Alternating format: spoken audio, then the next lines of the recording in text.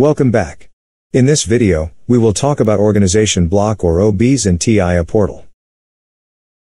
OBs are responsible for execution of cyclic and interrupt-driven programs, startup behavior, and error handling.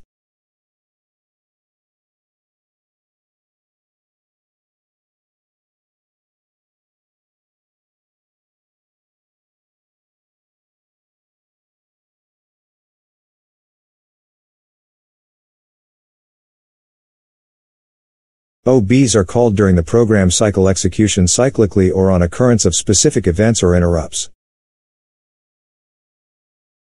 There are two types of events. Events which can start an OB and events which cannot start an OB.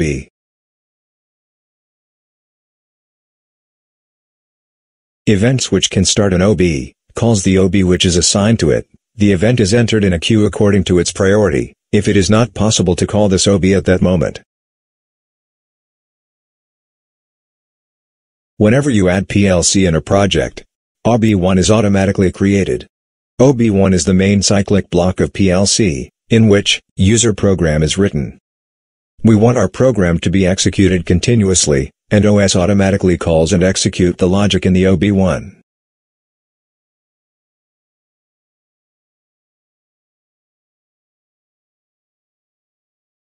OB1 is the program cycle OB. However, you can add more program cycle OBS for better structuring of project.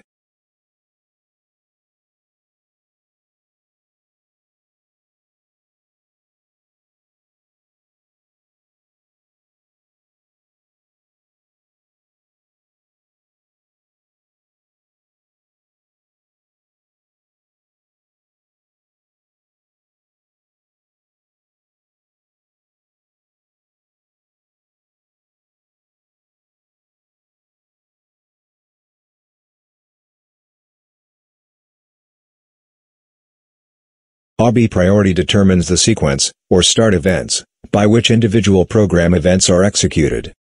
An OB can interrupt the execution of another OB depending upon their priority. A higher priority OB can interrupt lower priority OB.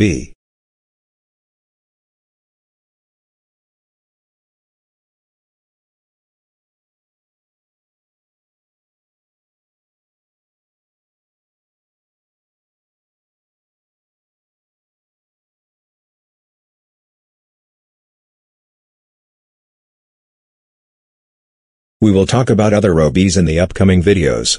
Thanks for watching the video. Subscribe for more updates.